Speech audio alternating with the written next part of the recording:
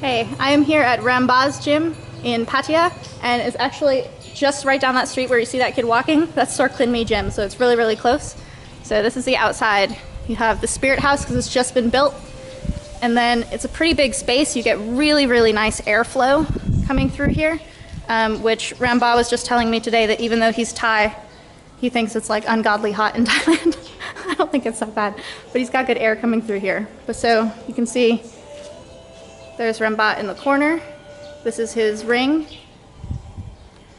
And then this is like his mascot, the bee.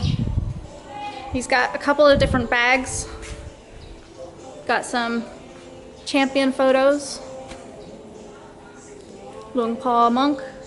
And then he has a very big, nice octagon in here.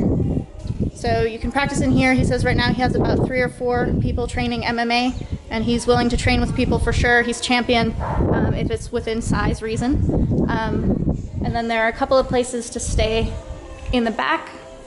Um, there aren't rooms in the gym, but there are rooms around the gym. And training here is 200 baht per day, which is super cheap, um, or 3,000 baht for a month. So you've got a little bit of training equipment here. You can see there are houses right back there. Yeah. So that's Rambaa's gym. I just did a private with him. He's awesome. He's very tactical. And uh, you can come train here. They have a website, which I will include in here. Uh, and definitely come check it out.